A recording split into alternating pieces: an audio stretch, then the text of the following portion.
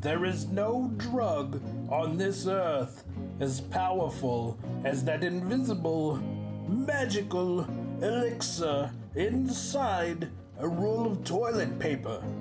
This shit will fuck you up so bad, your very butthole hairs will cry out in ecstasy as they tickle your bean hole and beg you for another hit.